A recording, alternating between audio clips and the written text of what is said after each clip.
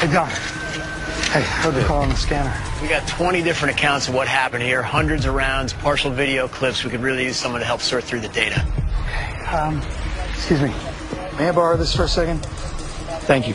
So, um, let's say you wanted to take a panoramic photograph of uh, downtown LA with a digital camera. You take five pictures in a row, and then the camera sorts through the information and stitches together a composite image.